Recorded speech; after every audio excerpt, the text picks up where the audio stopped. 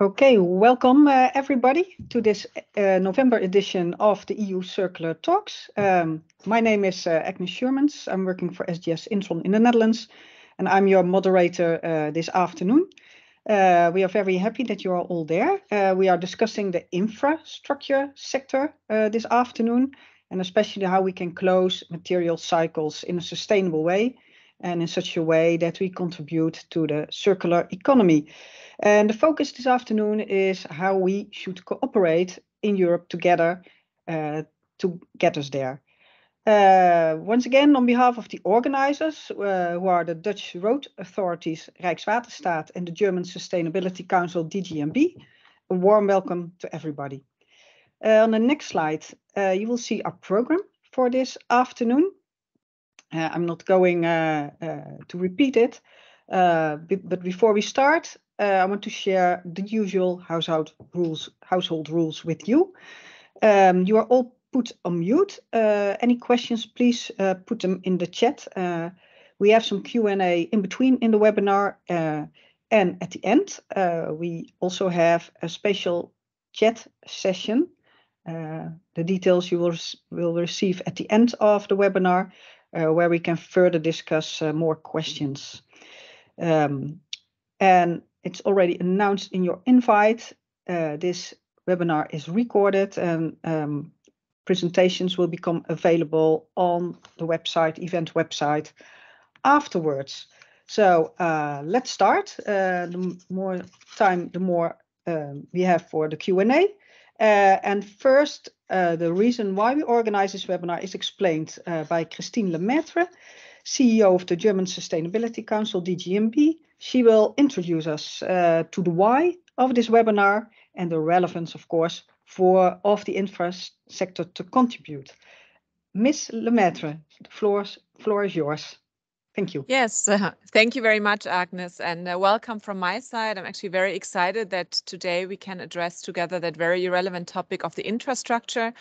And um, I think we all are very aware of like the big numbers where the CO2 emissions, the resource consumption in the construction industry comes from, but it's mainly always focused on on high-rise buildings. And but if we look at around 60%, at least in Germany, of the CO2 emissions in construction is coming from infrastructure, meaning building bridges, streets, tunnels. Um, this topic has been very much overlooked all that time. So if we look at the big the big uh, drivers we see to reduce CO2 emissions, to reduce resources, we have to address the infrastructure, the infrastructure that's all around us, the infrastructure we need in order to maintain the life in our cities, our urban development. Everything is heavily based and relying on infrastructure. And I think especially on the European level, we have to talk about collaboration on how we can bring the value chain together in order to decrease the amount of transport emissions, to, to make it the, to close the cycles locally or regionally and to make really sure that material is, is used in the right way, that we're not generating waste where we don't need to generate waste and that we provide high quality infrastructure because we're in the middle of a lot of challenges all around the world. And the the rebuild of the infrastructure will be a very crucial part the making the infrastructure future proofed and therefore the circular talk is now focusing on the infrastructure on the value chain we will hear different perspectives and hopefully we will find synergies and ways on how to collaborate so that is from my side. Thank you very much. And I really hope this is the kickoff for all of us to get more active, to put more emphasis on infrastructure, get politicians, get the commission aware of the big relevance and start moving and generate a sustainable infrastructure with a circular, which is CO2 reduced, which preserves the biodiversity all around us. So thank you very much. And I give the floor back to Agnes. Thank you. Thank you, uh, Christine. Uh, that's a very clear message indeed. Uh, more focus for the infrastructure uh, would definitely help to, to achieve uh, the European goals. And therefore, we are very happy uh, that the EU Circular to Talks host this webinar this afternoon. and we have from the organization Mr. Plosceanu, I hope I pronounced it correctly, Uh, he's president of the Romanian Construction Entrepreneurs Association and vice president of the General Union of Romanian Industrialists. Uh, he will explain us uh, more about EU circular talks uh, as a good means, good tool for exchanging information for this European cooperation. Uh, Mr. Plosceanu, please explain us a bit more. Thank you so much. Good afternoon, everybody. I should like to thanks to the organizers for bringing forward this topical subject today. And I need to emphasize also that I represent today in this uh, debate also the European Economic and Social Committee. As many of you already know, the platform is an European one-stop shop for the circular economy community. It is a place for dialogue and the bridge between existing circular economy initiatives. In fact, the content on the website comes from you, the stakeholders, with a debate continuously being nourished online through our communication channels such as Twitter, LinkedIn, and our newsletter. The concept was launched in 2020 as the ideal forum for stakeholders to come together and exchange their ideas and practices in specific fields, such as the construction and infrastructure subject. Yeah, this idea of a space for stakeholders to exchange is exactly what the Commission and our committee had in mind when they launched ECESP five years ago. The platform aims to foster the circular economy at the European level, but driven by stakeholders on the ground. Allow me to take a few minutes to talk about the European Economic and Social Committee. The EU body is other parent institution of the platform and acts as a driver for sustainability while identifying the barriers throughout its opinions. It its role as consultative body to the EU institutions, the committee organizes thematic exchanges with a wide range of civil society actors and prepares opinion on issues related to secondary raw materials and circular economy, drawing on input from the experts in the employers, workers, and civil society organizations groups. The construction sector is one of the most resource demanding industrial sectors in the EU. It is also the sector where adopting circular economy practices represents Europe's best chance to reduce the environmental impact of the production and consumption of raw materials. This shift could also help boost the EU market for secondary raw materials, which is high on the agenda of the EESC, through the work of the opinions and the ECESP also. Collaboration among all the actors throughout the value chain is essential to addressing these challenges. The benefits of cooperation can provide solutions in closing infrastructure material cycles. How to do it, what are the obstacles and opportunities is exactly what we are all here to discuss today. The committee stresses the importance of creating a market for secondary raw materials in Europe. The availability and quality of secondary raw materials and their improved collection represents a win-win situation as it helps to reduce greenhouse gas emissions and the dependency on raw material imports, thus adding resilience and especially steel, a permanent material that is circular by design. Standardization plays also a crucial role in the European construction sector. It would help to promote the circularity of construction products, addressing the barriers in the single markets for construction products and contribution to the European Green Deal and the CEAP. The committee believes that standardization should be an industry-driven bottom-up process in which all stakeholders work together cooperatively and flexibly to have up-to-date standards that are crucial to enable sustainability and digitization and support innovation in the construction sector in a fast and timely manner, also held by social dialogue with the social partners in the process. For the stakeholder platform to continue being relevant and valuable to a broader audience, we need you to provide more practices. We invite you to submit your good practice, knowledge, strategy, and that might be where the first step for collaboration can start. Your content enriches the existing range of good practices in secondary raw materials in the construction and infrastructure, with stakeholders driven content on its website and then ever-growing community on social media, regular uploading of these good practices is essential to keep the conversation active and to avoid repeating lessons which have already been learned for circular consumers. Ladies and gentlemen, without further ado, I would like to leave the floor to the moderator, and I'm thanking you, looking forward to a fruitful exchange. Thank you so much. Thank you uh, very much, uh, Mr. Uh, Plosceanu. Uh, that's uh, very interesting to hear. We are very happy uh, to use your platform for this European debate, and I'm pretty sure that all our speakers and audience are looking forward to taking up the challenge in cooperation in this context. Thanks a lot. Um, before we go to this European debate and, of course, the European policies, we first want to know the opinion of you, of the audience, and we prepared a small poll for this purpose. I hope it can be shown now on the screen. And it's about the relevance of the infrastructure uh, that's already emphasized by Ms. Lemaitre and by Mr. Plosceanu. Um, okay. Um,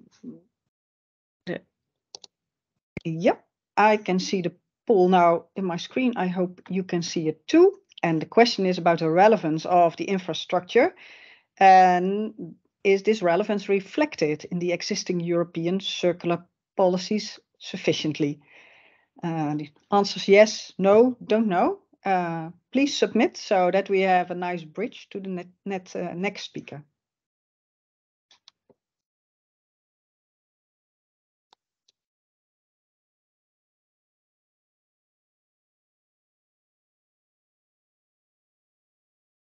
Think uh, in a couple of seconds uh, we will uh, probably see the outcome of the poll. We all had the opportunity to give our opinion. It's still running in my screen.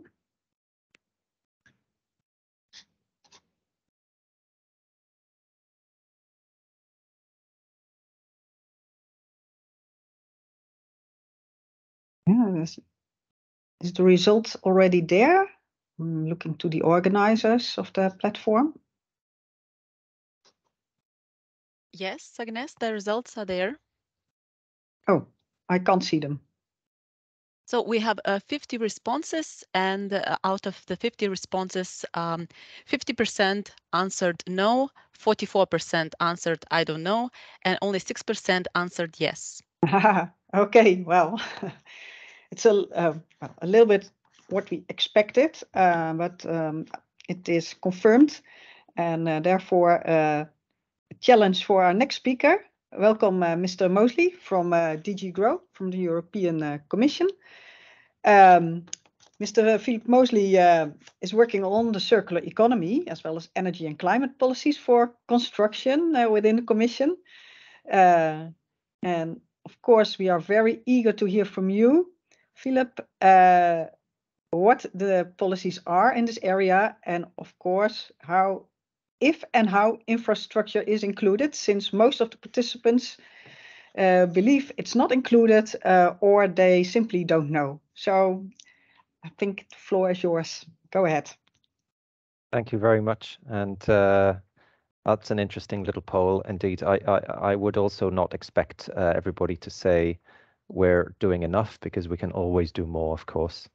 Um, but uh, and I will just share my my slides. But I, I, think that one of the things I want to do in this little uh, presentation is to disprove the uh, the the the suggestion I've heard several times that the European Commission isn't doing anything for um, circular economy and infrastructure, and that we can concentrate too much on buildings. Um, of course, we do have a lot of policies on buildings, but as I think you will see, we also have quite a lot that is relevant to infrastructure. Um, so I'm I'm working in the construction unit in DG Grow, and um, in the construction unit, we are working uh, at the moment uh, uh, in when we define the construction ecosystem. Um, so this is slightly different to the definition of the construction sector. Uh, the ecosystem is a, is a definition that's slightly wider uh, it's based on the economic uh, indicators uh, using Eurostat and, and, and, and sources like that. And um, uh, the ecosystem is worth more or less 10% of the EU's gross value added. So it's one of the biggest of the 14 industry ecosystems uh, that are defined in the industrial strategy of the European Union. And it's, as you can see there, has uh, millions of jobs and, and companies involved. As, as, we, as we know, uh, small, medium enterprises dominate construction. Then we have a statistic there on waste generated, and, and this is actually quite a new statistic that came from Eurostat only uh, in September, because um, uh, for the last couple of years we've been quoting the 2018 figure from Eurostat, which was 35.9% of the EU's waste generated came from construction. Uh, so it was already the single biggest source of waste but that has unfortunately gone up rather than down. So the proportion is even bigger now. 37.1% of all of the EU's waste is coming from construction. So we have a massive waste problem. Uh, and also, of course, we, we have a problem with resource extraction uh, in construction. Um, the a piece of work that we're working on right now, and we have been working on for the past year or so, uh, is the transition pathway for construction. And uh, this is nearing the end of the process now. We've had many consultations, uh, we've had many meetings with industry and with member states through the high level construction forum, bringing people together. We've had thematic sessions looking at various different aspects of this. Uh, and this transition pathway document, we're drafting the final document at the moment, and it will come out uh, early next year. Probably at the moment, we're looking at February. Uh, we don't have a specific date yet, but we're we're aiming for that kind of date. And what this document will do is um, uh, make recommendations for future action, not only for ourselves uh, at EU level, but also uh, recommend action at national level and and industry. And and these are not just our ideas; they're the suggestions that have come from all these consultations. One of the most important uh, policy developments now is the construction products regulation that is undergoing a revision. The um, proposal of the Commission was published in March, and that is now going through the legislative process. It's being negotiated with the, the, the Council and Parliament, uh, are laying out their opinions on this. Um, the, the, the regulation is aiming, or the, the revision is aiming to improve the functioning of the single market, first of all, uh, overall for construction products, but also for the first time integrate sustainability requirements. And, and here the circular economy is a really key part. And, and I will uh, go into a little bit more detail here with this slide, because what this slide does is it picks out um, the, the various aspects of circular construction products and where and which articles and what we're talking about in the in the revision proposal. So overall, what we want to do is to make it easier for industry to be able to use uh, either remanufactured construction products or reused construction products and also ones with recycled content. Um, so this, uh, there are various ways that this can be helped uh, to clarify the conditions for marketing of construction products, including secondary ones, uh, to have uh, protocols on dismantled products when buildings are demolished or ideally deconstructed and dismantled, there would then be a way for um, the people doing that to uh, follow a protocol that means that the products being dismantled can then be uh, uh more easily reused in future. Um, and then also information on um, product repairability and, and possible reuse uh, and recyclability and so on. Uh, and then also one of the key things is is flexibility. So um, making it easier for products that maybe have undergone minimal change during the time when they were in the works, when they were integrated into a building or into a piece of infrastructure. Um, and then when the, that is uh, approaching its second life, or ideally even third or fourth life, um, that that is uh, able to be marketed as a construction product in an easier way than would otherwise be the case. So they don't have to go through all of the bureaucratic process of a new product. And this is one of the key things uh, to level the playing field between new new products and uh, secondary products. Um, so uh, another thing there is permitting a second life. What that means is uh, surplus products that have been delivered to a building site but are not actually needed and never make it into the the works uh, they at the moment very often just get wasted. Uh, and and this would uh, formally make it possible for them to be uh, to be used elsewhere. And then also um, provisions there on closing material circles. Now, um, we're also working on the uh, taxonomy, which you may have heard a lot about because there are already criteria for climate change and adaptation and mitigation, which are published and in force since January. Uh, we have been working with the Platform for Sustainable Finance, which is the, the kind of expert group, uh, external, uh, external to the Commission. Uh, and they've been uh, making recommendations on the further four criteria that you can see at the bottom there, including circular economy. So we've taken those suggestions on board and the Commission is looking at these now uh, with a view to publishing these criteria soon, although we don't yet have a date for that. We have a study that is ongoing um, that is with us in DG Grow, looking at uh, circular construction and how to measure it. So how to assess what is industry doing on the ground. So trying to look beyond national statistics, uh, things like Eurostat figures, which are very important, but which only give us a partial picture. We really need to know why uh, industry is applying circular approaches or why they're not doing it and if not, uh, how can we uh, uh, open some bottlenecks and facilitate it? Um, so, so this study is looking at this in various ways. It's it's had some surveys, it's done workshops. It's going to soon conduct some interviews with key stakeholders, uh, and there will be some ongoing work. It, it goes on until um, uh, spring next year. This survey, th this uh, study, and there's a website there to look at. Another initiative of DG Grow uh, is the Big Buyers Initiative, and this is aimed at uh, large procurers, so um, uh, national infrastructure bodies and also cities, people who have uh, procurement contracts. It has several working groups, including one on circular construction, which has actually been focusing especially on asphalt, which is, of course, absolutely key in infrastructure uh, and it has been making some links uh, between the procurers, looking at best practices, speaking to industry about what best practice is actually possible so that it can make it into uh, procurement contracts. So that is um, a very interesting uh, initiative there. And there's another working group, as you can see, on, on zero emission construction. Uh, there's a guidance document, in fact, two guidance documents which have been published since a number of years now by uh, the Commission. The uh, Construction Demolition Waste Management Protocol was published in 2016, so it's quite old, um, but it's still used and still relevant. And there's also from 2018 the guidance on waste audits before demolition.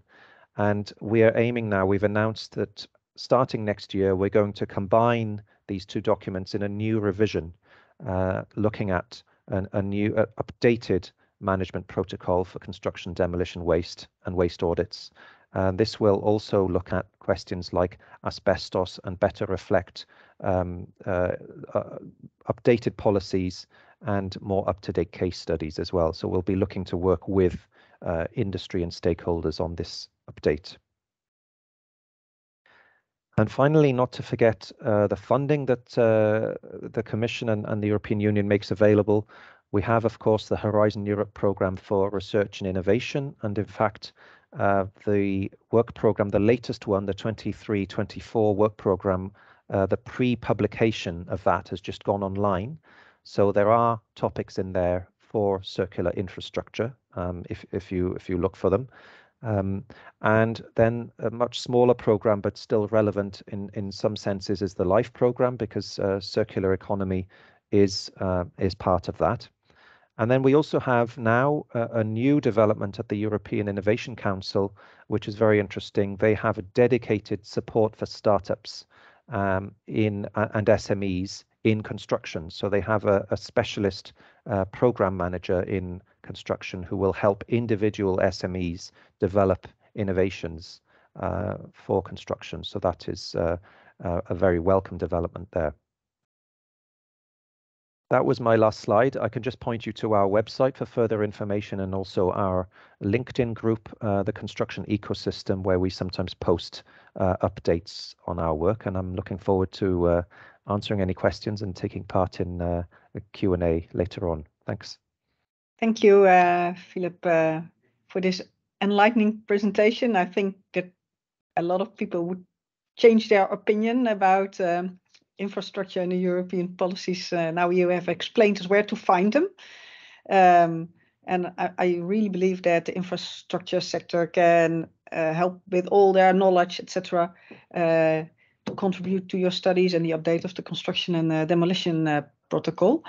Uh, I think we have time for a couple of questions. Jessica from Rijkswaterstaat, can you maybe come up with a burning question from the audience? Yes, Agnes. Um, we have here a, question posed by Evert Schut, also from uh, Rijkswaterstaat, and uh, he's uh, very curious to know what kind of that, uh, what part of that 37.1% of uh, waste, demolition and construction waste, is uh, reused or recycled. So uh, whether there is information about that. Yeah, I think there's a separate Eurostat statistic about recovery rate of construction demolition waste. Um, so I'm not sure that that has been updated at the same time. I'd have to check, but um, there are, in fact, several statistics uh, uh that we keep an eye on uh, of Eurostat, but those are probably the two most important for circular construction, are the waste generated and then the um, and, and then the other one I mentioned. Okay, thank you you. Um, and then, uh, Philip, you mentioned uh, Horizon uh, Europe eh, for also for infrastructure projects. Can you tell us a bit, little bit more about the timing? when are the next call for projects? Yeah, so the uh, work program pre-publication, what that means is it's it's not yet the official one, uh, but it's uh, very very close to the being the final version so that we wouldn't expect any any major changes. Uh, that has gone online as i said so um, you can already see the topics in there. Um, it will say in the work program um, the the dates uh, that the calls are expected to open. It also says the budgets and, and the deadlines and so on. Um, what i'm talking about here by the way is cluster four of horizon europe. That is the the part called um, uh, digital industry and space. And that has uh, this part we are working on for the digital and green transition of construction. Um, and there are more widely uh, other parts of Horizon Europe that might be of interest as well. But of course, it's it's a huge program, so people would need to search for exactly what what their interest is. Okay, uh, thank you. Uh, I think we'll keep it here. After this webinar uh, said there's a special digital room, uh, the special chat where we, uh, uh where Philip Mosley will also be available. So if you have any other questions uh, to him, uh, you can definitely join us at four o'clock for this. I propose that we continue with our program to our next speaker. Um, we have the full context now, the policy context, and we can take a deep dive into the material cycles for the two value chains we have chosen today, concrete and asphalt. But before we are doing so, uh, Mr. Evert Schut, Schut from uh, the Dutch Rijkswaterstaat will bring us in the right mood, I would say. He will explain us the main principles uh, to take into consideration uh, for these two uh, value change. Change, sorry. Uh, Evert, please go ahead. Yes, I'm trying to share my screen now. Yeah. Yes, here we are. Work. Yeah. And the presentation mode, and then everything is perfect. Okay, go okay, ahead. Okay, good. Um, how do we close the loop for European supply chains in construction? Um, that's what I'm going to be talking about today. And um, just a quick introduction, I'm Evert Schut. I'm a senior specialist circular economy working for Rijkswaterstaat, as already mentioned, the National Roads and Waterways Authority of the Netherlands. In um, 2016, Rijkswaterstaat formulated uh, the ambition to be working in a fully circular manner by 2030. Um, by that time, we had basically no idea what this really meant, uh, which was good because we started a team to find out what it would mean and uh, eventually how to implement it. And um, one thing I'd like to say about uh, this, this, search, uh, very soon we were um, convinced that we couldn't do this alone. This was not something just for um, inside Rijkswaterstaat. We'd have to do it with the whole value chain and probably not just within the Netherlands, but within uh, Europe. Okay, let me start with an example with the with asphalt. Um, uh, one of the big problems which which I hear from my uh, asphalt uh, roadworks uh, colleagues is where do you get bitumen these days in Europe? It's it's it's hardly produced anymore, um, and there's all sorts of reasons. I'm sure we'll go into this uh, later. Uh, but but now it comes from countries which, um, well, are not always as politically stable as we would like, and so there's risks involved. On the other hand, um, there is already technically uh, uh, uh, it's it's technically feasible to recycle asphalt at a high level, with which I mean from top layer to layer, with recovery rates of of 80% and more. Um, and in doing so, uh, recycling significantly contributes to lowering the carbon impact of asphalt. And um, there's also a new uh, development for uh, bio-based alternatives for bitumen, uh, and they're they're very promising in at least in parts of uh, of Europe uh, so far. So all in all, more than enough reasons to go circular. Um, another example before I move on. Uh, this is um, a, a, picture of uh, our circular viaduct, uh, a pilot project uh, built module in, in modules, as you can see uh, in the picture. And here the pilot was to, to test if we could construct it and deconstruct it uh, within the same year. And of course, if, if, it, um, if, if, it, if it worked as a, as a viaduct. Um, now we have a lot of those. Uh, I think we have around 5,000 uh, viaducts in our network, and many of these need to be replaced in the next 20 years or so. Um, and that means that we want to go market and, and ask um, us a circular viaduct. Um, but does a manufacturer in, I don't know, uh, Italy or Lithuania know what we mean?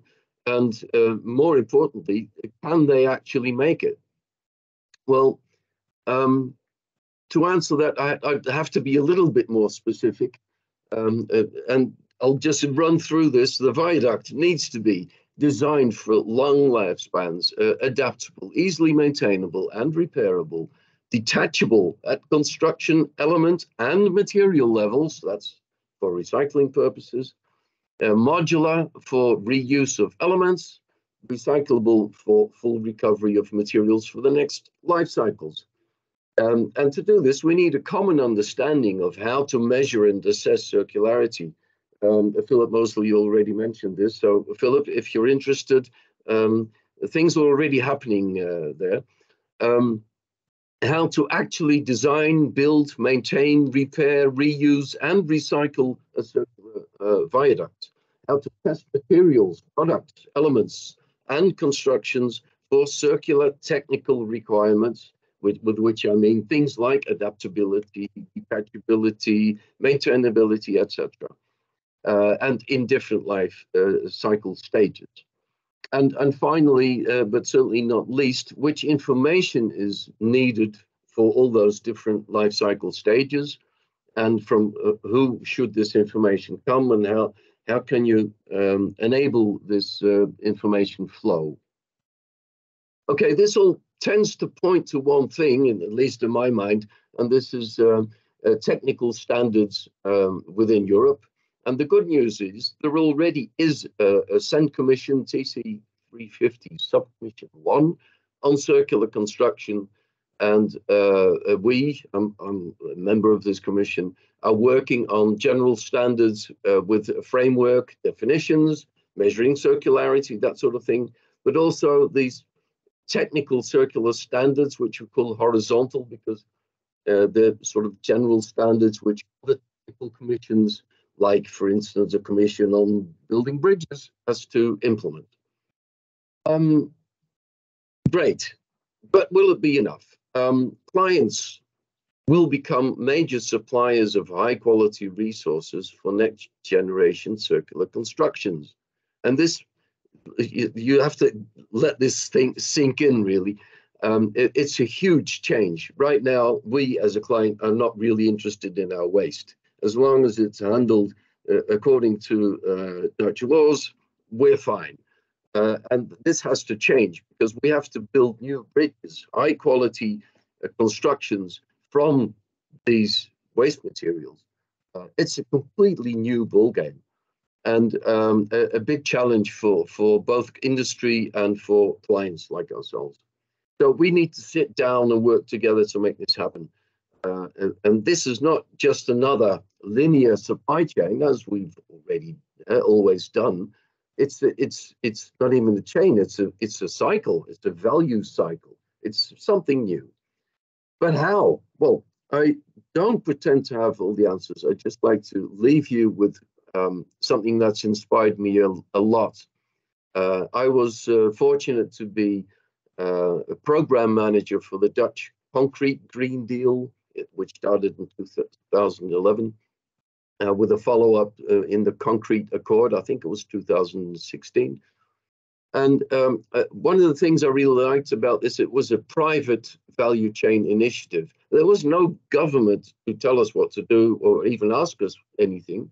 It was just their own initiative to start this.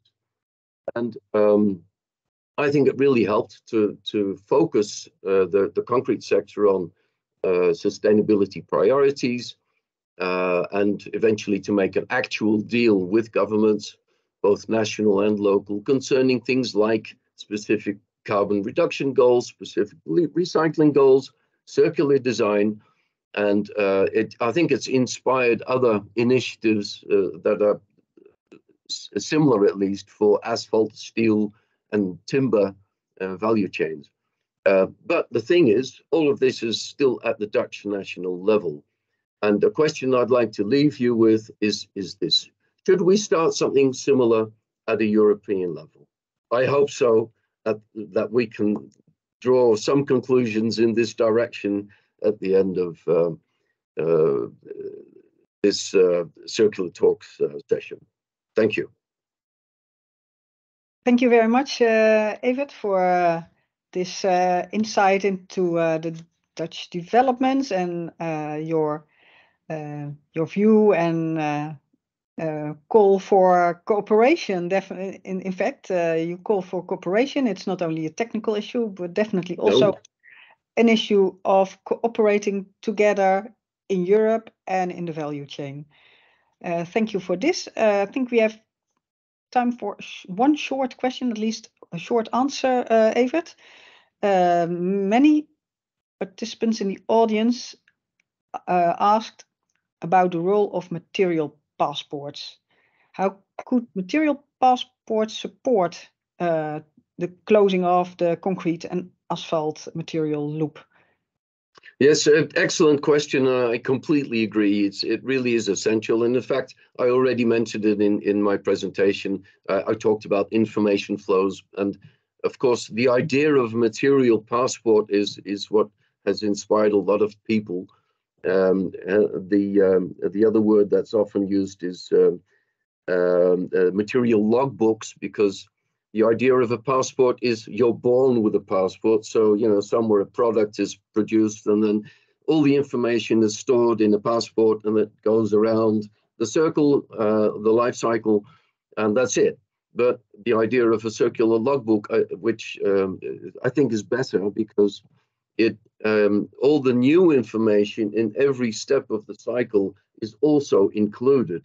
So you get you really get life cycle information. And the type of information, well, it's very close. At least the first thing that comes to mind for me is those technical requirements which I talked about. That's the thing you really want to know. You want to know how to deconstruct whatever product it is from the rest of the construction that's that's the most important uh, sort of information you, need. Uh, so yeah, that would be my answer anyway.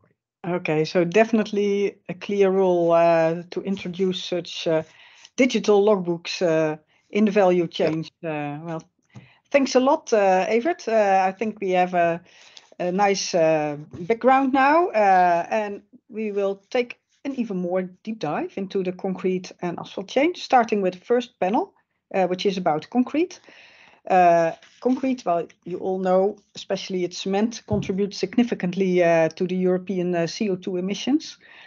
And it's therefore targeted in various European policies. Uh, we see it in the taxonomy, in all types of uh, sustainability policies. Um, and the sector, of course, also takes its responsibility there.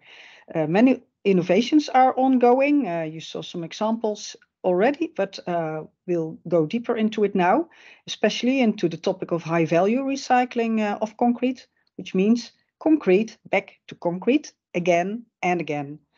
Uh, we have three very interesting panelists uh, on this topic uh, to give you the full and broad perspective of the benefits of cooperation uh, to achieve this high value recycling. Um, and our first speaker, our first pitcher is uh, Dr. Marc Ottelé. He's assistant professor at the Technical University of Delft.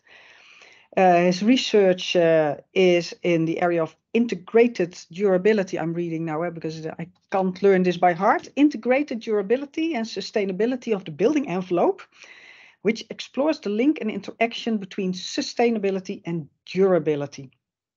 Uh, and in this interaction uh, between materials and biology is central in his research and education. And of course, he has lots of experience in high quality recycling uh, of concrete. So please, uh, Mr. Ottelé, tell us all about these new developments and innovations on the technical side.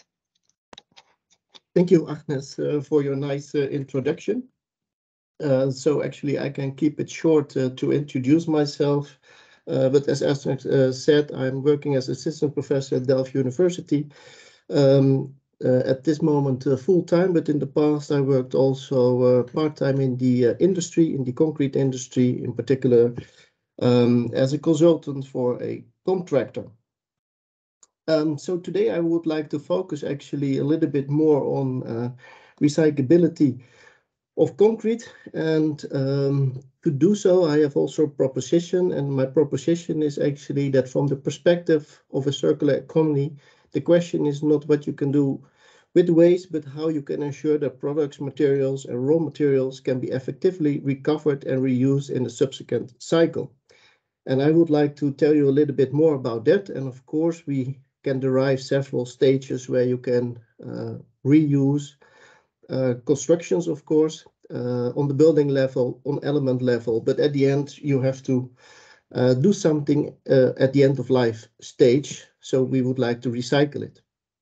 But first, I would like to propose as well that um, in, in terms of calculation, the environmental impact, I think there is a strong need in harmonization of the calculation methods although I see improvement the last years in Europe, I think uh, it could be even better uh, that we go really to a system um, which all the countries has to follow in their calculation method because we see that there is still a huge deviation in the approach to come to the result, which also make comparison between countries very complicated.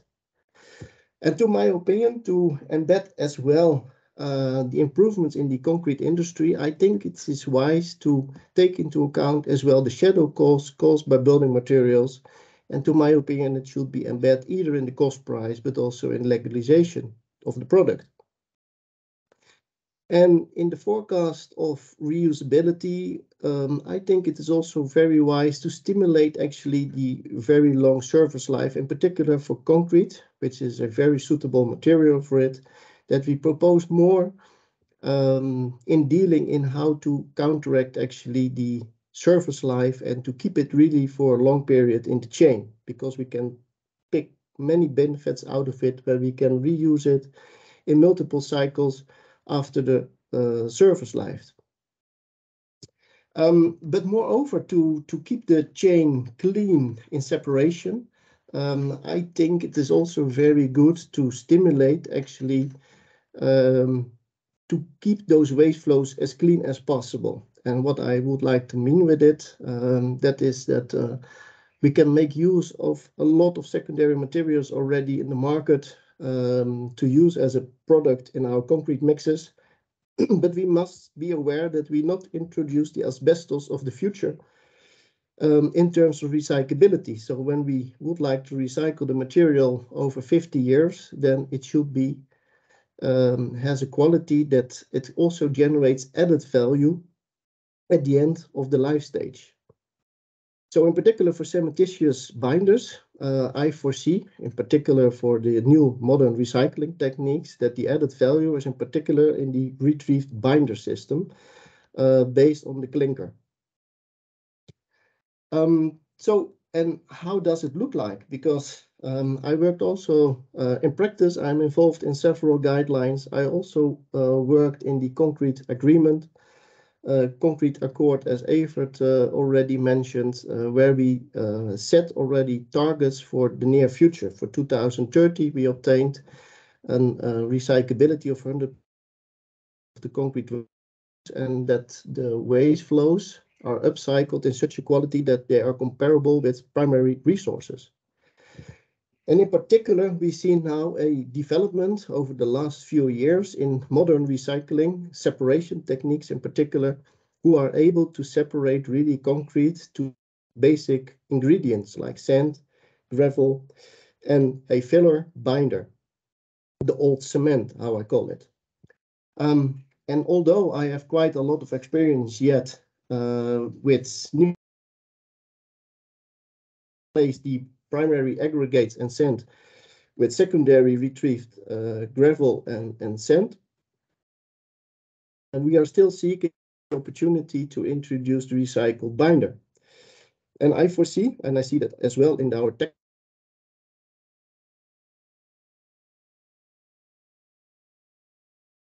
are looking for new guidelines to implement also the recycled binder in new concrete and cement mixes. So I'm very happy to see that uh, the materials that we can derive, and you see on the right-hand side a photograph of traditionally crushed concrete, uh, where we have sand, uh, cementitious material, and aggregate still clocked together, while the modern separation techniques are able to separate almost clean aggregates in forms of gravel, sand, and also very fine fractions where we see that the old binder um, is, well, of a quality that differs, uh, which is also the challenge, of course, while we have a lot of different cement types in Europe. Um, however, it is, uh, from an academic point of view, uh, research must be done how we can set the quality for the near future. So I have a, an implementation route for that uh, retrieve binder, and I foresee that in the upcoming years we can make use uh, of this binder in new concrete mixtures according to this implementation route. And finally, um, I think what is necessary as well for this implementation route is that we work more on passport and the fingerprint of products to, re to reuse, actually, to determine the usability possibilities and to determine as well the value we have to work more on guidelines, I think, uh, which makes it able to reuse products um, and also how to calculate from a construction point of view. And furthermore, I think it is also very important that uh, the stimulation of concrete upcycling, as I said, so the waste flows that is fully 100% recyclable in a new stage should be achieved instead of downcycling through traditional recycled aggregate or via the road foundations. So in particular in the old binder, there is the value in terms of environmental footprint. So for the near future, I hope that we can improve this um, on, well, really an international scale. So actually that brings me to, to a uh, short pitch, Agnes. So the floor Thank is yours Thank you very again. much, uh, Mark. It was very interesting. And I heard you telling about uh, the standards. Uh, there is a, there is a question on the Eurocodes, but I propose uh, that we first uh, do the three presentations uh, about concrete, so that we have the full picture of the concrete recycling uh, area, and then uh, we'll come back uh, to the questions. So our next picture, thank you, Mark. And our next picture is Mr. Arthold from uh, Heidelberg Materials, and he's also the chair of the Concrete Sustainability Council. Um, welcome, uh, Mr. Arthold. Uh, the, the Concrete Sustainability uh, Concrete Sustainability Council initiative uh, paves the way, of course, to more sustainable concrete. And we are very eager to hear from you about the latest developments uh, to close the concrete loop. Mr. Artel, Thank you. So, yeah, thank you so much, Agnes. I'm working indeed with Heidelberg Materials, and I will share in a moment a presentation which uh, with you, which is about our work at Heidelberg Materials as well as about news from the Sustainability um, Council, Concrete Sustainability Council. Just getting into the right presentation mode. Um, we at Heidelberg Cement are indeed working on closing the material loop uh, for concrete, but also for CO2. And I would say for you today, very important is the recycling part that we have engaged over the past few years. We see this on this slide here.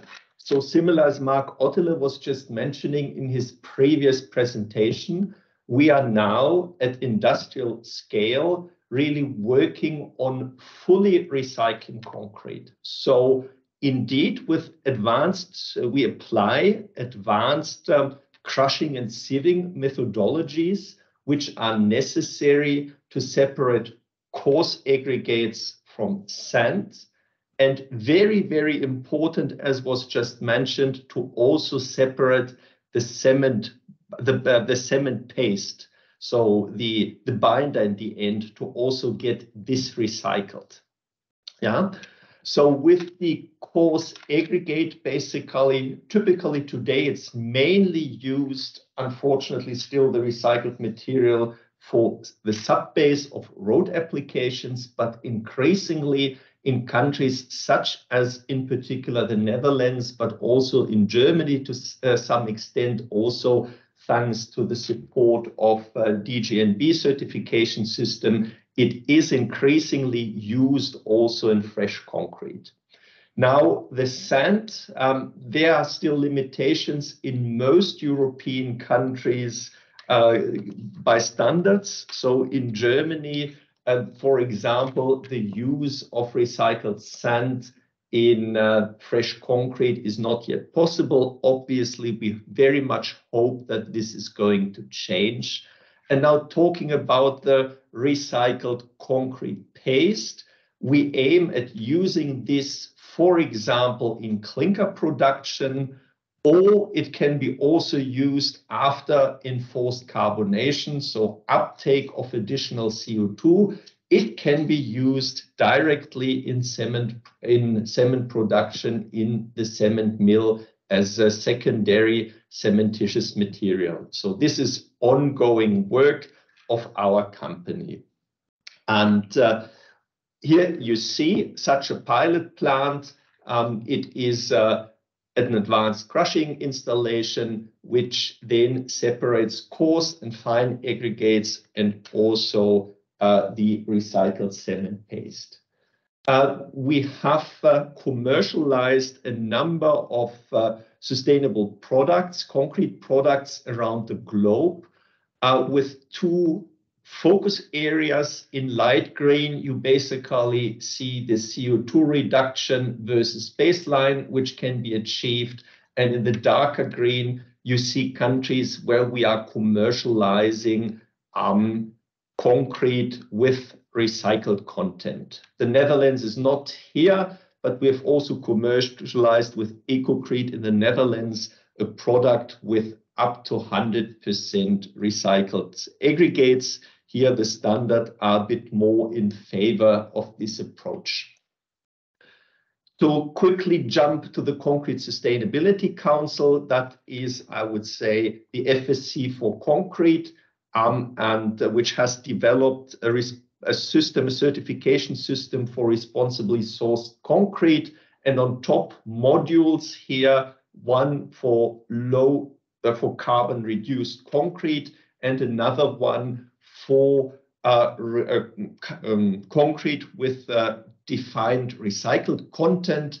And uh, I would show you here that this label also permits to clearly uh, label your product, your recycled product, with up to four stars, depending on the recycled content in the concrete. This was uh, introduced one and a half years ago with an update a few weeks ago and is uh, slowly gaining um, its way into the market, in particular in Germany, where this module has also been accepted by DGNB as a as an in within one of their criteria to show um, and apart from that in the Netherlands. Yeah, with that, Agnes, I'm at the end of my presentation and I would hand it back to you. Thanks a lot for this, uh, showing us uh, this, uh, all these developments. Um, uh, and my question is, you mentioned often uh, Germany, where you yes. cooperate with DGNB. You mentioned the Netherlands, uh, what we also heard from the first speaker. Developments are ongoing, um, but we are talking about European cooperation today.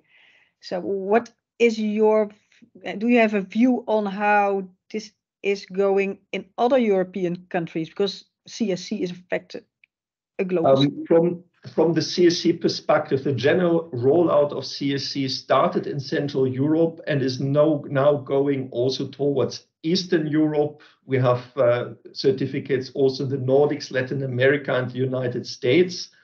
If it comes to recycling, I would say the more east you go, the more difficult this is, in particular when we are talking about the use of recycled concrete aggregates in fresh concrete, so in other applications than oh. the road base.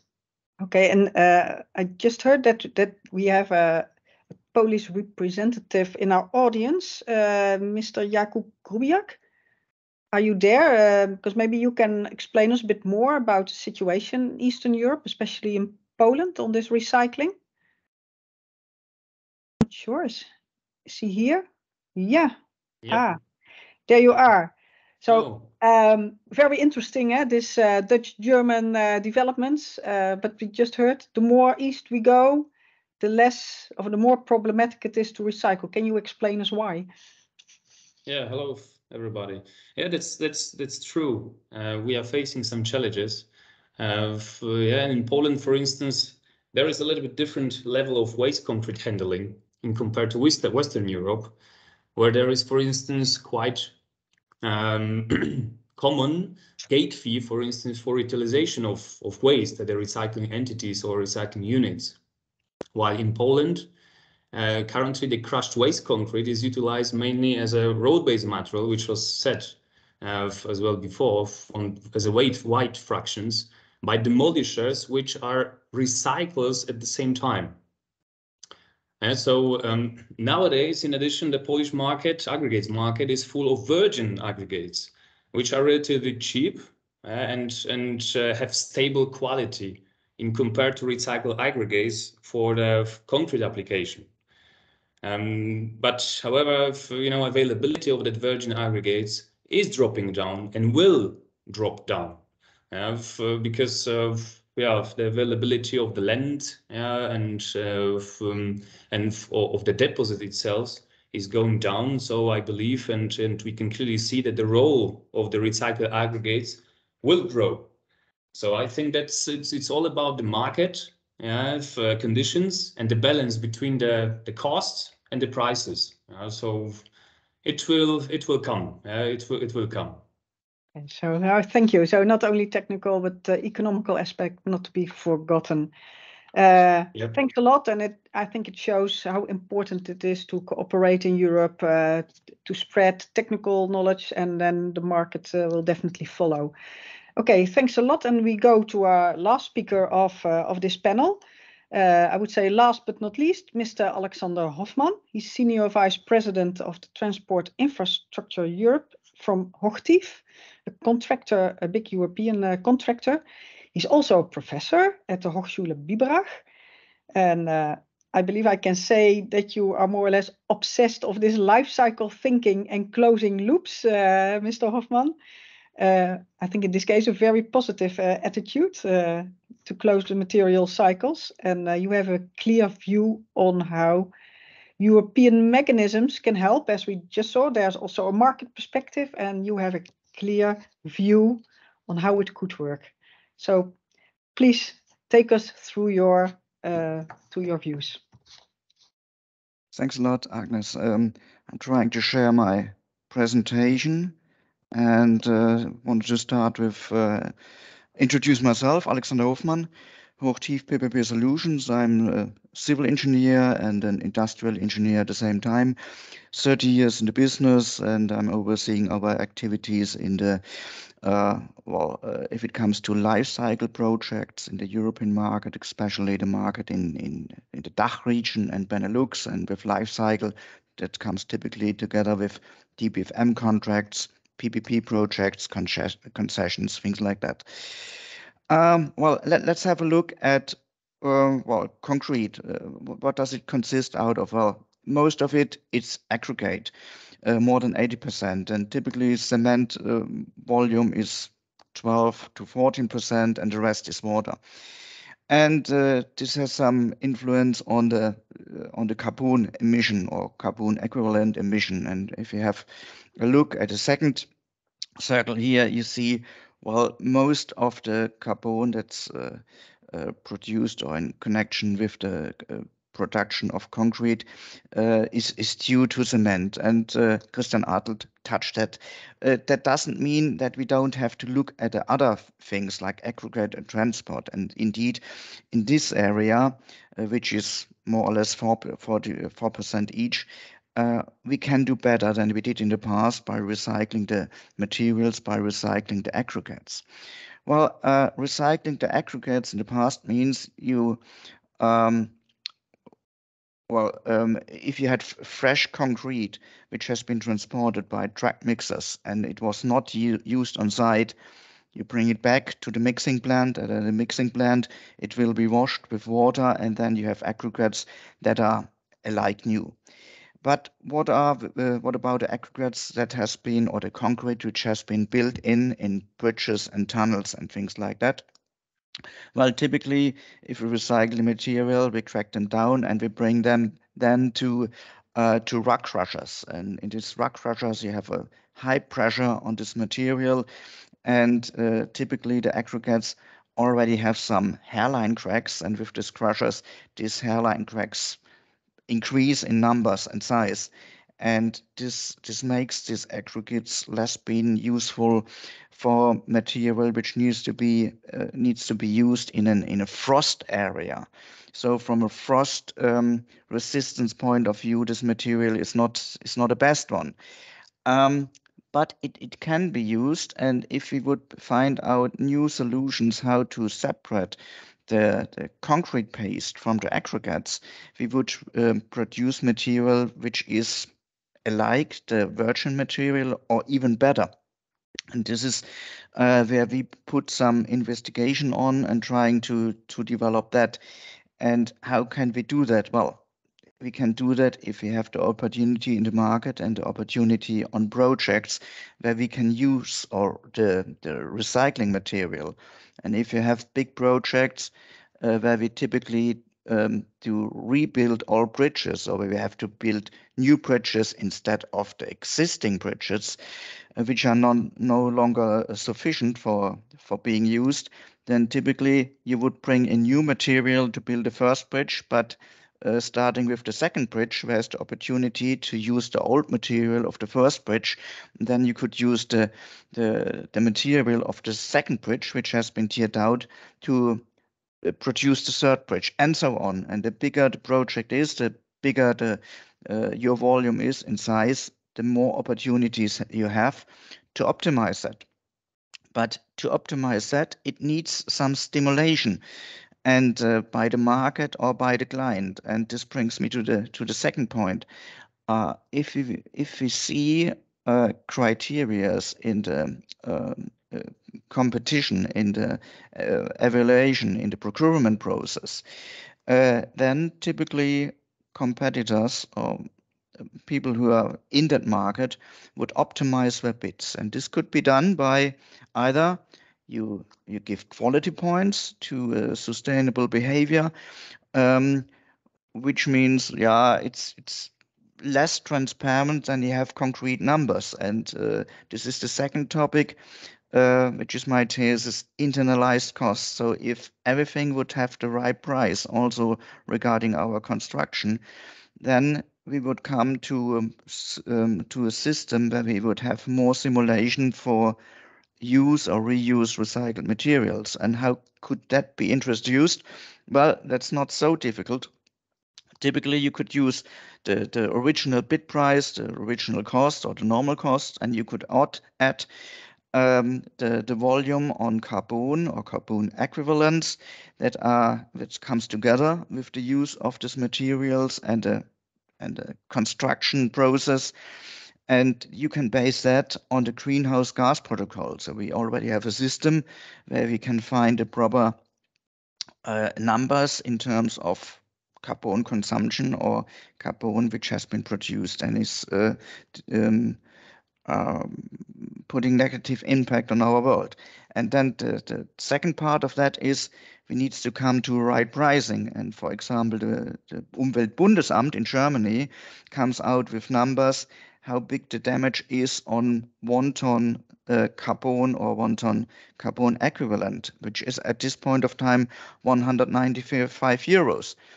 And uh, if we would install a system like this, and I see more and more clients being open for, for a system like this, then we would have a competition between being more sustainable or uh, having a cheaper price. And if if this system will be installed, um, the optimum out of that would be awarded, and the company who is bringing the best solution for that would uh, would be awarded with the uh, with the contract. And uh, by introducing such a, a, system we would stimulate not only the use of recycling material for concrete but um, for being more sustainable at all. And this is something where the EU could be maybe even more by making this number 195 or even higher uh, a number which is accepted by the national audit offices. So far, Agnes, for the first impression. Many thanks, many thanks. Uh, that's an interesting proposal, this, of course, uh, doing uh, the pricing. Um, and uh, do, do you think it will uh, result in an increase of high quality recycling of concrete? So what we saw uh, uh, shown by Mr. Ottelé and uh, Mr. Artold with regaining all the fractions out of it. Um, it also costs costs some energy. So maybe uh, maybe the C the CO2 yield is uh, is not that much. And will it then really uh, be an impulse for contractors to go to high quality recycling? I can only I can only speak for my company. It it will be a stimul stimulation, uh, definitely, and we already have to deal with uh, several uh, several ingredients in our price, which is design, construct, financing, operate, and maintenance. Maintenance, and if sustainability issue would come on top in terms or by by a, by a certain price, we would optimize it at all, and this is not a big deal to do so. Great. Well, thanks a lot. Um, then we go to questions from the audience, and I think there was a question on the Eurocodes for Marc Ottelé. Jessica, could you please tell us more about this question? Yes, definitely. So this question is uh, from Simon uh, uh, McGuinness. I'm not sure whether I'm, I'm pronouncing it that well. Um, but it it, uh, it indeed concerns uh, the Eurocodes revision, uh, and uh, he asks whether um, the ongoing revision will clarify the difference between the very short structural design life uh, of buildings and the proposed use life of built assets, uh, which is significantly longer. Um, he further continues by saying millions of buildings in Europe are in daily use and are over 500 years old. So structural designers need to embrace the concept of circularity and the Euro codes are currently preventing that by setting artificially short design uh, life. Um, not sure whether you you're you're able to answer that. Maybe that's a question more to Philip, but um, I'm curious uh, to know the reactions. Yeah, uh, let's see, Mark. Uh, could you give an answer or yes maybe uh, well maybe i can i can try to answer the the, the question eh? because uh, indeed of course the eurocode but the eurocode is more or less written for uh, the new design of new constructions so, so the new design approach um, although i'm happy to see already in that new approach that uh, the performance based design uh, method is also introduced in the new eurocode uh, which, uh, to my opinion, is also necessary to to make the first step in in more. Uh, um, how can I say it? More uh, functional design uh, hand in hand with sustainability and durability. So, with respect to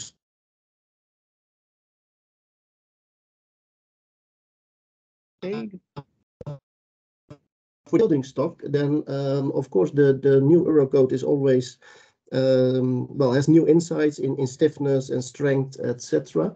So you calculate actually existing constructions uh, uh, not to, to the new standard.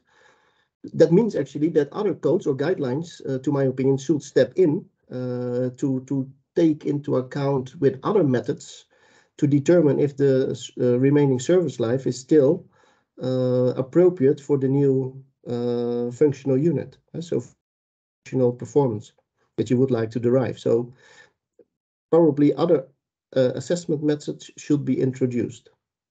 Okay, so still some work uh, to do there. Uh... Yeah, there's still work to do. Okay, um, thank you. Thanks a lot. Uh, I see that in the chat there are also some support chats uh, for the other speakers, but uh, for now I would say uh, let's let's close this panel uh, on on concrete, and let's go to the next panel discussion, which is uh, on asphalt. Um, asphalt is a very interesting material. Uh, we already heard from uh, Evert Schut that bitumen is becoming scarce. At the same time, it's very well recyclable and a valuable material. Um, it's probably not even necessary to price it, uh, as Mr. Hofmann uh, suggested, because asphalt producers may want to have it as an alternative for primary bitumen. And uh, our first speaker is from the European um, Asphalt Association, EAPA. Uh, and I think this webinar is very timely since uh, uh Breixo Gomez will tell us all about the viewpoints of EAPA and their what they lay down in their latest position paper, and it's a call to close uh, the material loop for asphalt. Uh, please tell us more about what your sector is looking for. So thank you very much. Thank you for this uh, magnificent introduction. I think you are able to see my screen now and to, to see me and hear me well. So thank you for the also the, the invitation to be in this um, in this webinar.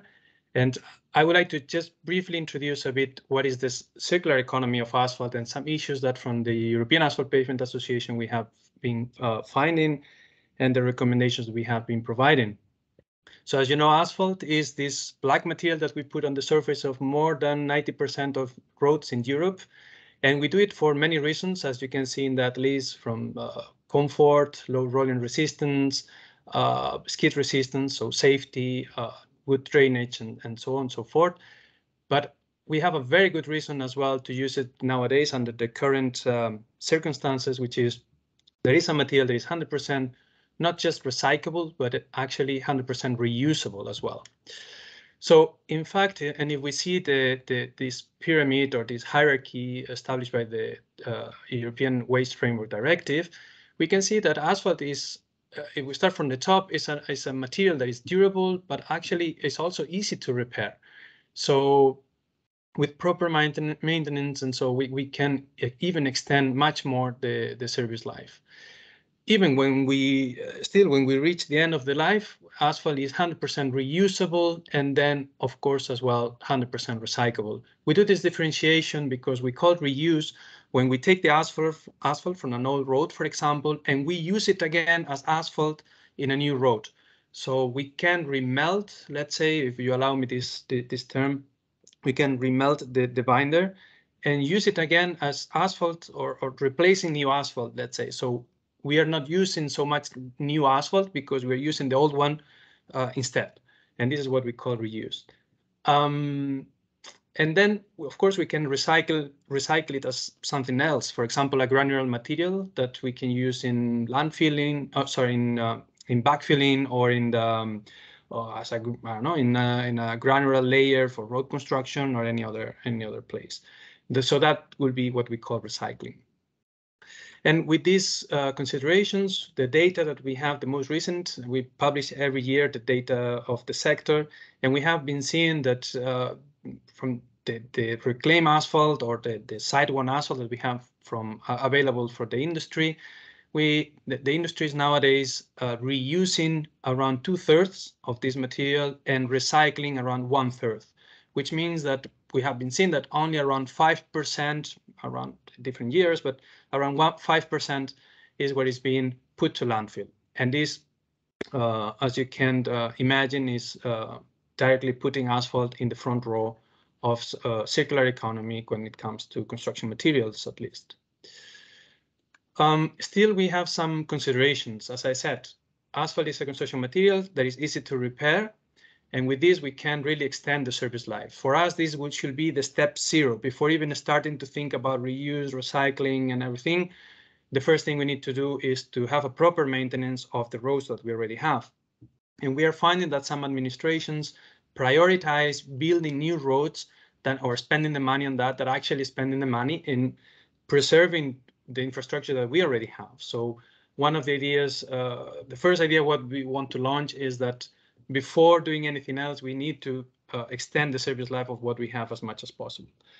Then, indeed, when we come to the to the end of life, uh, the the first option should be reuse, and the last option should be recyclable. In fact, in in in the asphalt industry, we say sometimes that for us recycling is not even good enough because we have other things that we could do first. We have to to maximize the reuse, recycling is almost the, the last option we can do. Of course, the last is putting into landfill, but for us is is becoming not even an option anymore. So, um, and it, when we come to, to reuse and recycling, we have seen that there are there are some historical misconceptions of new better being better than reuse, and and so, and also the application of the Waste Framework Directive that can lead to some uh, difficulties in terms of end of waste to uh, classify the, the material as non-waste. So it's been a bit, uh, it's making the, the, the, reuse and recycling uh, difficult sometimes. Um, and this often uh, can be translated into special operating procedures, which can, which can reduce efficiency in the process, increase costs, and at the end of the day is, well, not very encouraging to, to do it more. So we need to reduce these barriers, I will say, to, to, to do better.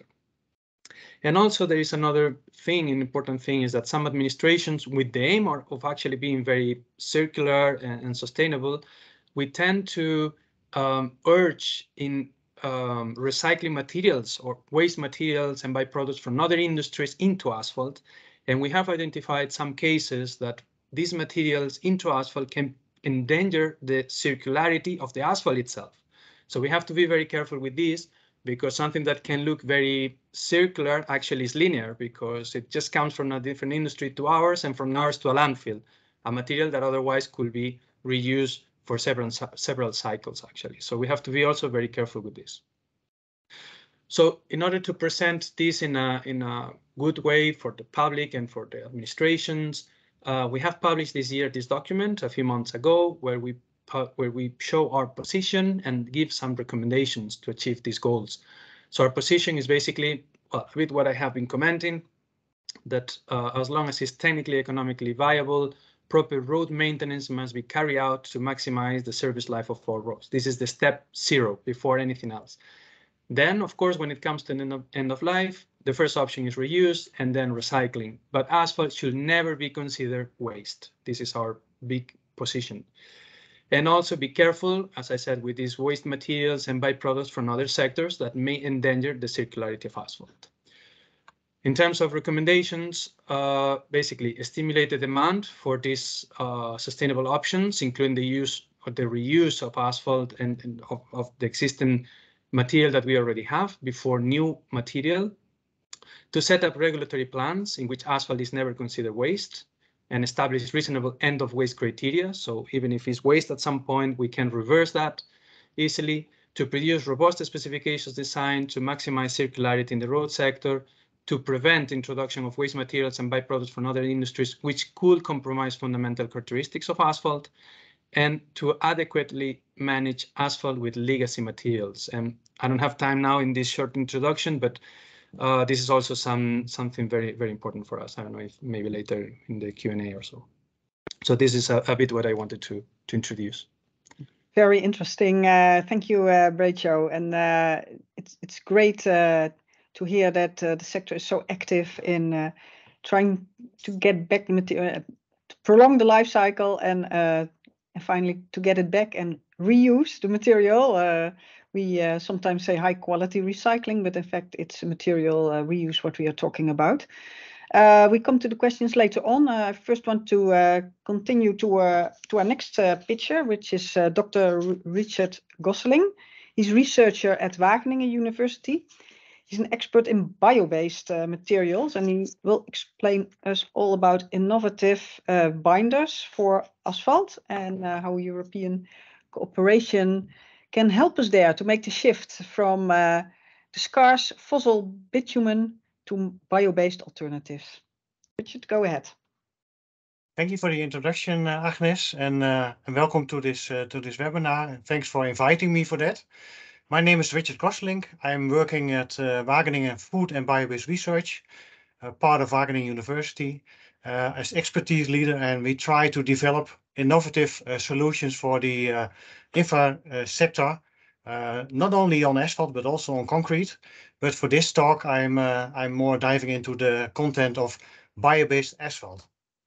I hope you can see my my slides.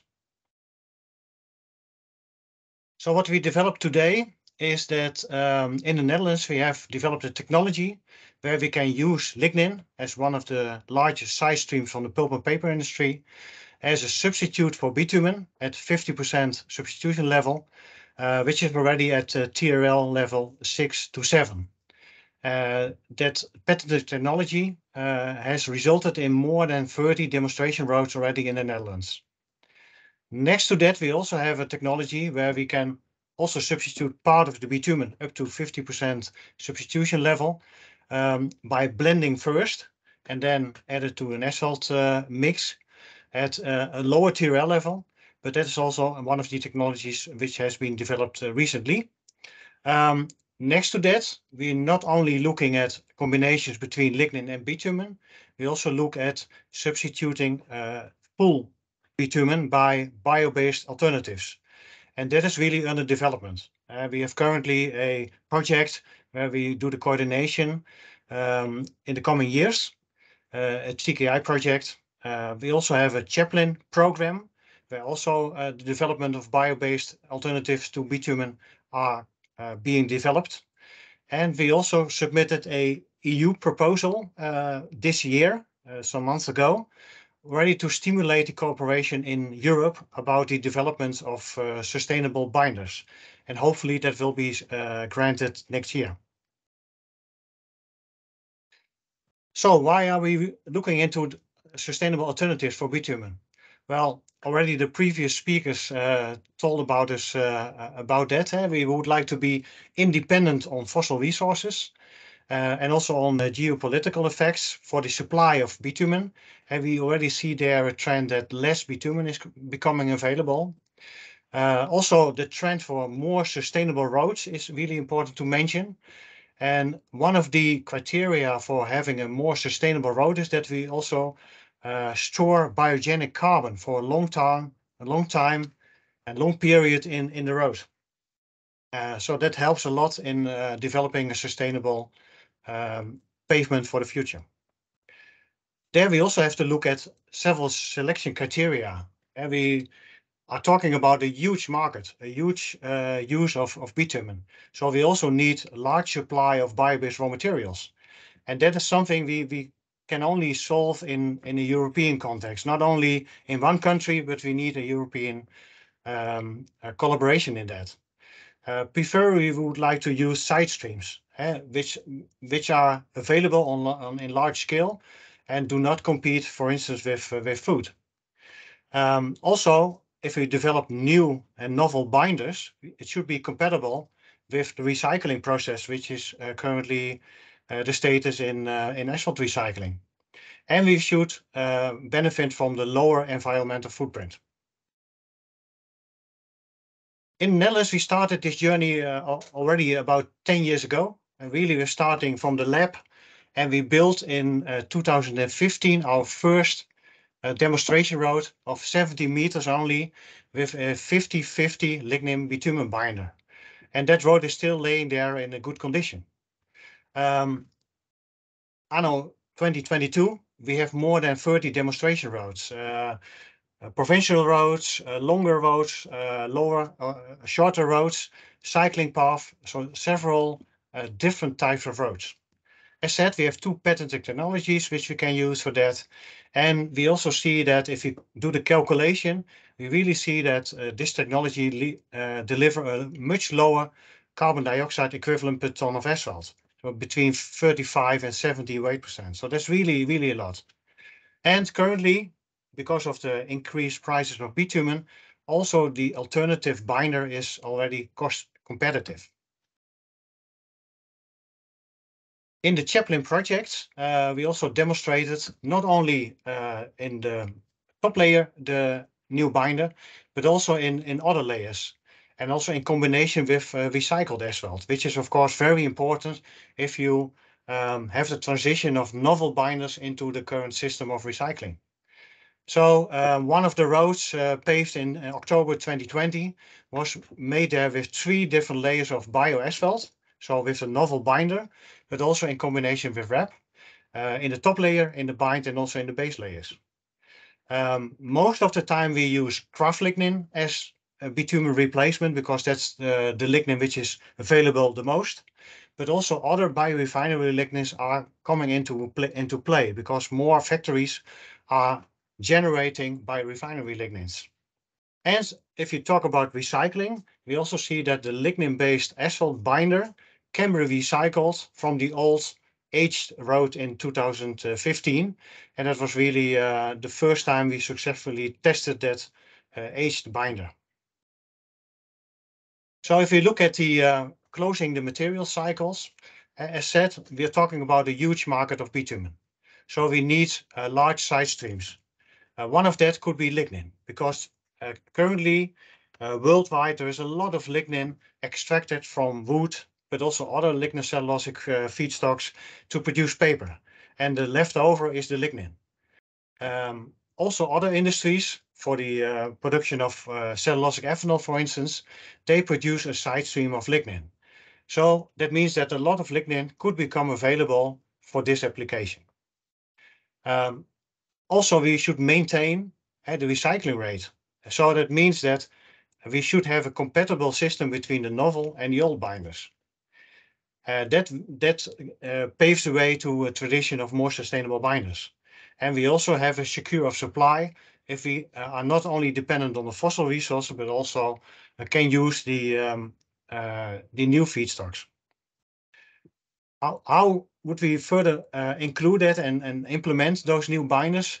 Is that there is also a need for harmonization of of protocols, how to um to test the different binders, how to exchange information. Can we use the uh, the mixed designs in different countries, in different climates? And we really need more data on the user phase uh, by using and making a lot of demonstration routes. So that will help us in further validation of the technology. And last but not least, uh, we would really like to to encourage partners to further develop together with us this technology in different countries.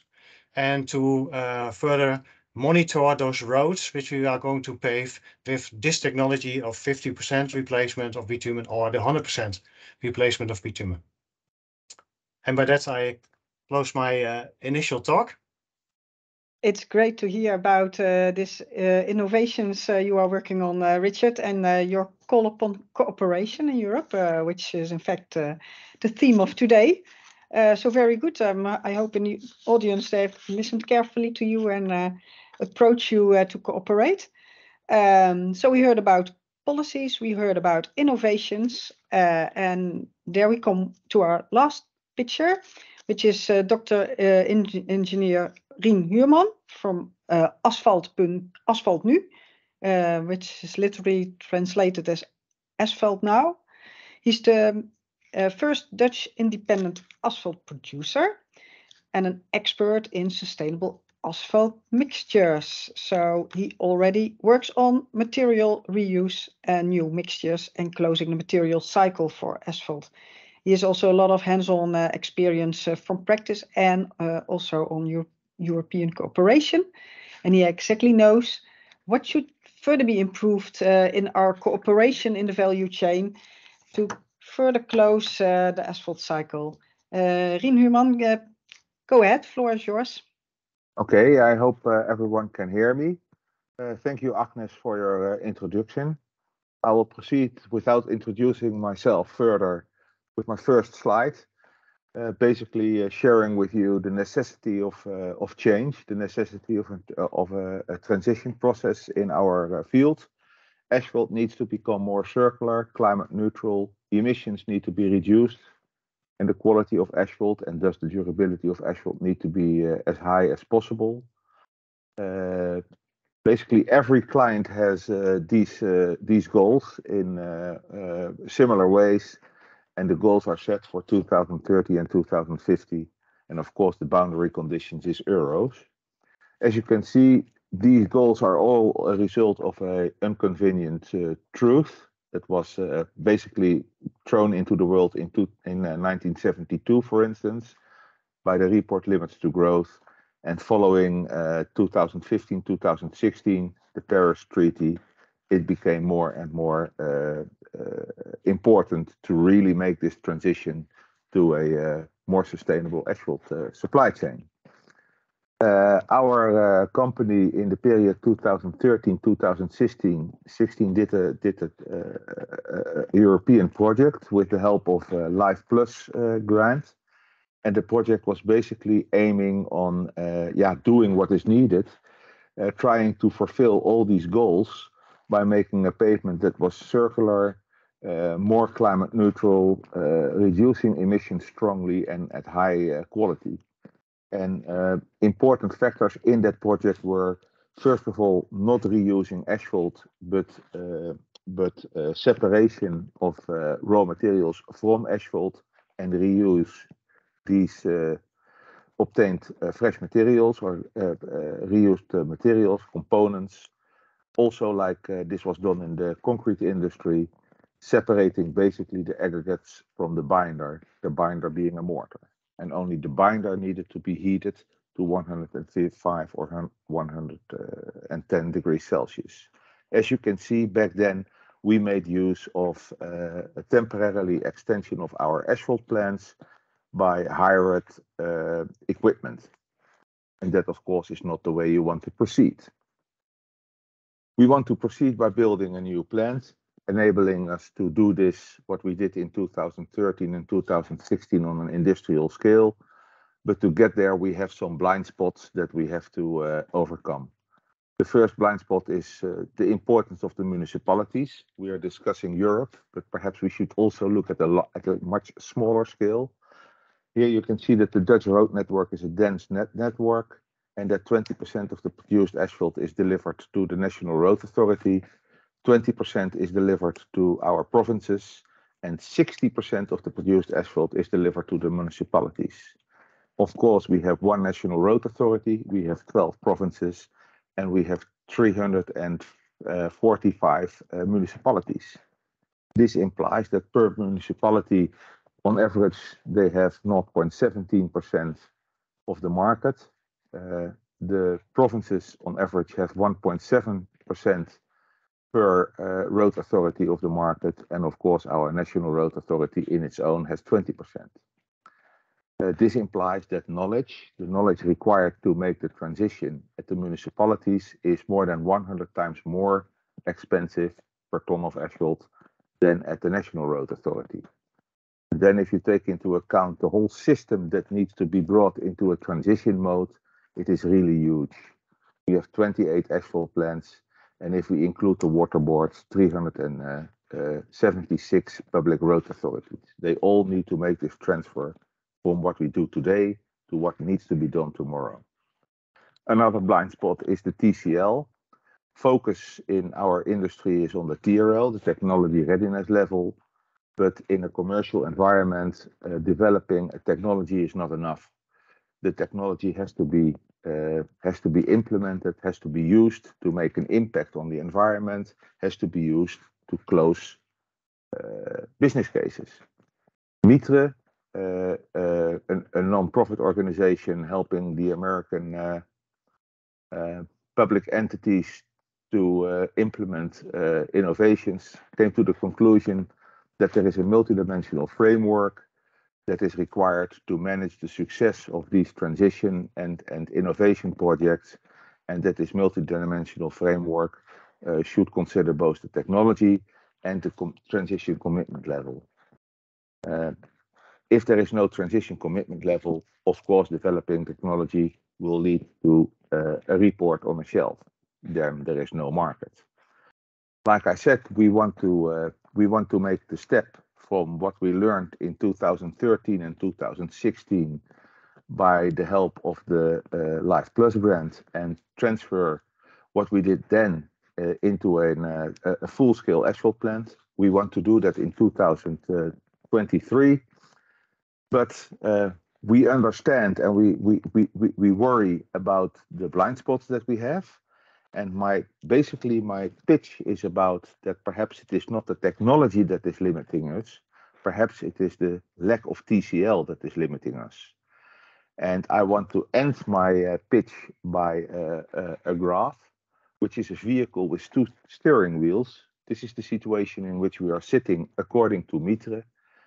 We, as a company, we want to sit on one of at these front seats, take control of the steering wheel, and bring us forward. But the question is, who is going to sit on that other steering wheel? Where is the TCL? Who is the leading uh, client bringing us forward? That is a question. I think the answer to that question is very important in successfully transferring the asphalt industry from what it is today to a truly sustainable circular industry. Thank you, Agnes. Thank you very much, uh, Rien. Uh, I think a lot comes together in, in your call for cooperation. Uh, uh, since uh, Breixo Gomez also mentioned the importance of all the authorities, including all the authorities, should have a look into good solutions for asphalt. And it's not only about technologies, but also it's the soft side of life, which is so important that we cooperate and have the willingness to act uh, together. Um, and also, uh, uh, the Big Buyers Initiative mentioned by Philip Mosley in the in the beginning might be a might be a nice opportunity here to introduce new techniques and new concepts, which are so well developed in all these European projects, to bring them to the more regional authorities. Thanks a lot. Um, we have time for some Q&A, and I think there was a question for Mr. Gomez, uh, Jessica, wasn't it, uh, already at the start? Yes, I think uh, two questions to Breixo. The first one being, what is the difference between the reuse and recycling when it comes to CO2 and nitrogen emissions? And the second one um, from Evert, do you agree with the observation that it is becoming very difficult to acquire bitumen from within Europe? Okay, let's let's do uh, them one by one. First question, uh, Breixo. Uh, did you have a look into the environmental impact, CO2, nitrogen emissions for different options? Well, the nitrogen emissions are quite uh, specific, and I don't have the, the value here. Um, but in general, I will say that everything depends a bit of of the case and what we do. No, it's, uh, it's different. To, it's difficult to generalize. Uh, I mean, even something that we have in this publication is that it, for certain applications, reuse or recycling might not be the most sustainable option. For example, if we have to bring the material from very far and just next to it I have a, a quarry, if we do the proper life cycle assessment and then with the corresponding EPD and everything, maybe we find out that it is not the best option. So in general, I don't like to extract like very general um, numbers, but uh, unfortunately for the specific case of nitrogen, I, I, don't have any any answer at the moment. I'm, I'm sorry. No problem, but uh, it's definitely something uh, to look into. And it, we also heard uh, this life cycle assessment approach uh, and, and the probably uh, that extra transport might be at stake uh, in, in the concrete uh, panel. So definitely when closing the material loops, we should definitely ensure that also the environmental impact um, comes lower and not higher in this end. Okay, and the other question to you, uh, Rachel, was um, the scarcity of bitumen. Yeah, indeed. Uh, I mean, what we are seeing nowadays is, um, well, the situation is changing. Uh, we have seen disruptions in supply chains of different raw materials. Bitumen is one because it, it, it because it comes from crude oil, and indeed, uh, for example, Russia was uh, one of the, the, the big players here, and uh, we don't have that anymore. So uh, a lot of the logistics had to change. Um, when we see the future, well, we are seeing that the policies somehow they're pushing us to to find alternatives, as we have seen in the previous uh, uh, um, presentations as well. And uh, and it, of course, circular economy is, is one of the solutions for that. If we if we can maximize the use of the the material that we already have in our roads instead of bringing it from other regions from out of Europe and so so because we already have it in our roads and maybe the extra material that we still need to to add fresh or new we could maybe do it with sustainable uh, technologies, for example, these bio binders or so, maybe then we can uh, have a 100% uh, optimized solution. But uh, we, I would say that we are still far from that. But I, I, don't know exactly how the future would look like exactly. But um, I think circular economy will, will play a fundamental role because we, we have already studies that we can reuse up to 100% of the mix is not the most efficient thing at the moment, and uh, but some companies are already with very high uh, rates and, and of reuse. So as I said, if then the remaining part we can even do it with something different, is uh, why not? Yeah. So. Okay, and uh, that brings me then to a question uh, to Richard Gosselink, um, because it uh, bio-based binders are part of the solution as we hear. What what do you need then to scale up this application uh, and maybe both the technical side and soft side uh, this uh, willingness also yeah we heard already that both are important well from the from the technical part i would say that we um, we are uh, stepping into this development already for for quite some time but still need a lot of, of data eh? also data from the practice uh, how to uh, how do the um, the binders uh, behave in, in practice? Uh, what is their technical uh, performance? So that is something we need to um, uh, to further continue, and also in different countries. it is not only we know quite a lot about the situation in, in the Netherlands, but that's not the same as in the Nordics or in, in Spain. So we really need to harmonize those um, data. Uh, we need to uh, further monitor the different different roads, demonstration roads in in different countries, and there's another thing is that also uh, the use of novel and new materials in those cycles should be further stimulated by the authorities and by the regulations. Um, can we use those new materials in um, in the current uh, uh, pavements? I think that's also something to further harmonize and decide on a European level uh, how to deal with that. Yeah, thank you. And uh, um, so there are some routes uh, for forward uh, to go forward, and uh, we heard from Mr. Huurman also that there is some hurdle with willingness here and there. But Mr. Huurman, um, So all these options that you heard, uh, the standardization uh, involving uh, uh, regional authorities, more demonstration projects, various countries, what would be the right order to develop and implement all these options? Uh, could you give a recommendation on that? Uh, yeah, what I uh, what I miss a lot is uh, backward uh, scheduling. Uh, we know we have goals set for 2030 and 2050, and if you want to meet those goals and you have an understanding of your technology, you can do backward scheduling and come to the conclusion that perhaps today we already know that we are not going to meet the goals for 2030 and 2050. One example for this is uh, uh, uh, searching for asphalt with a much longer lifespan. Of course, this is highly beneficial. We should always do this because the best asphalt that you can produce is asphalt that is not produced at all.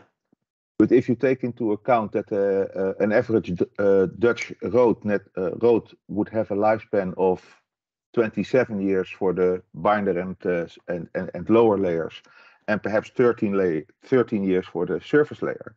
On average, that is a lifespan of 20 years.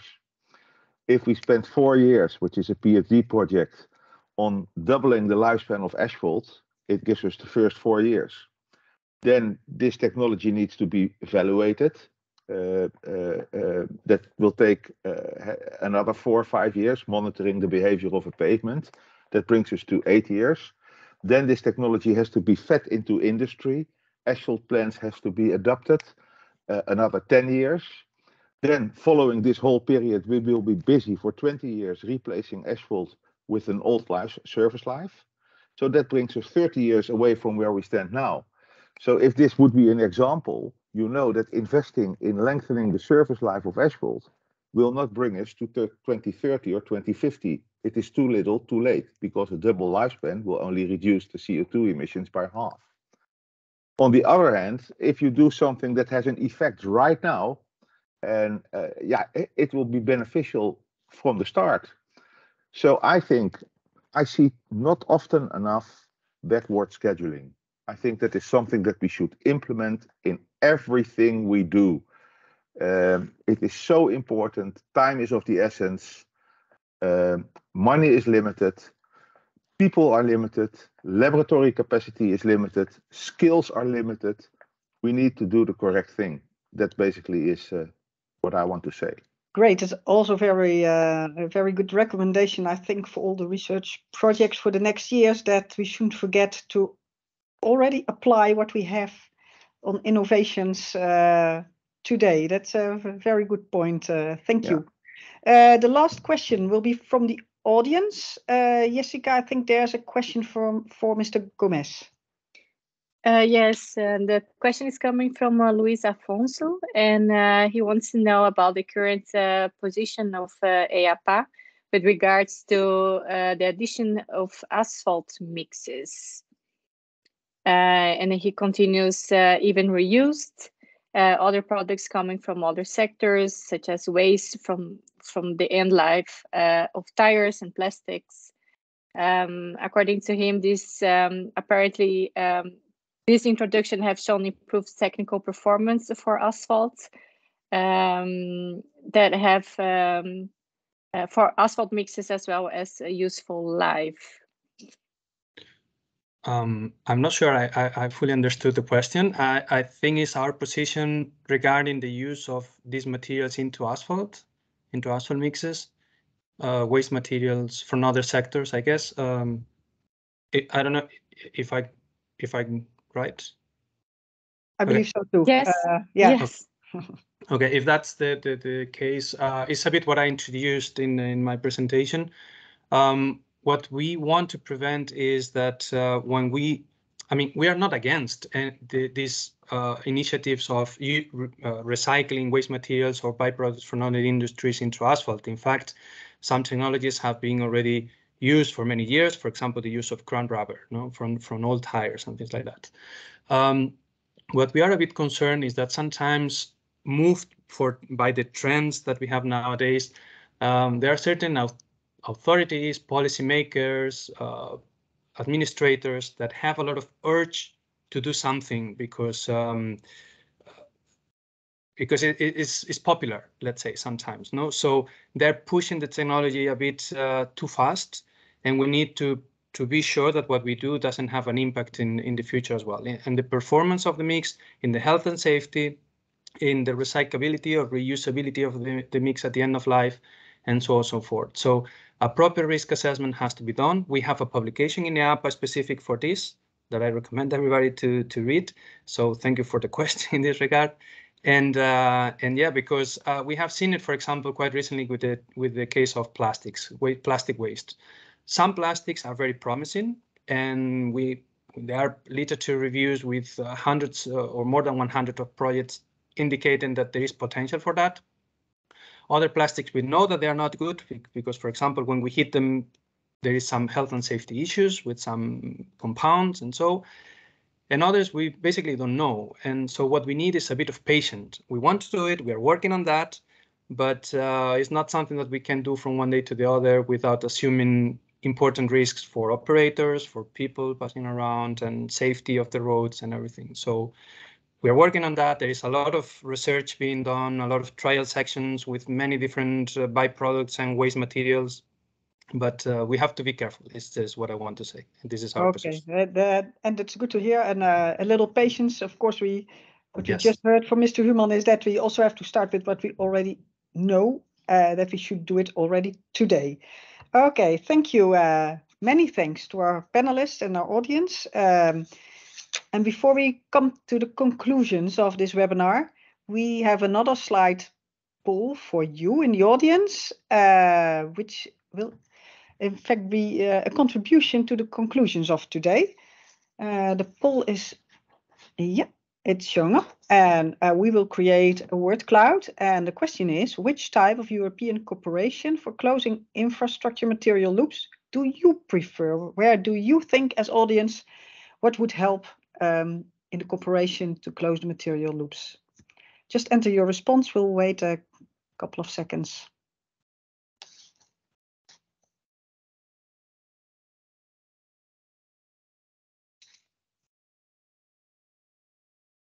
Okay, don't be shy.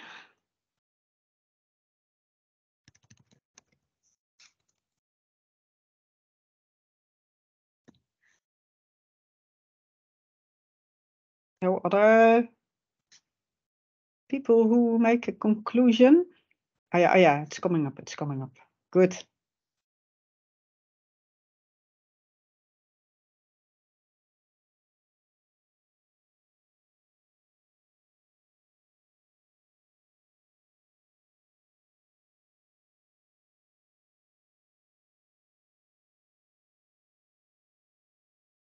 Okay.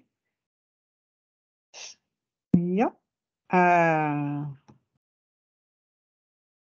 yeah, I think we should close it now. Responses are still coming in. Yeah. Be quick if you want to do it. And otherwise we'll close it. And I hope it's shown now. I hope we can see it.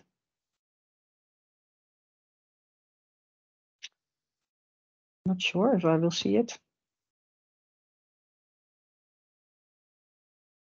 Ah, the poll is closed.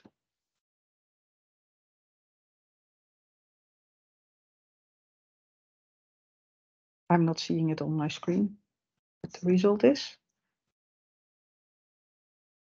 Uh, Zara, maybe you can make a screenshot for Agnes and put it in the chat. Yeah, sorry, I don't know why I don't see it. Yes, no problem. That would be nice to see it uh, to come to the closing remarks uh, of today because we are all coming to an end. Okay, yeah, it's a bit small, but what I can read is policies, projects. Okay, can I enlarge it a bit? Yeah.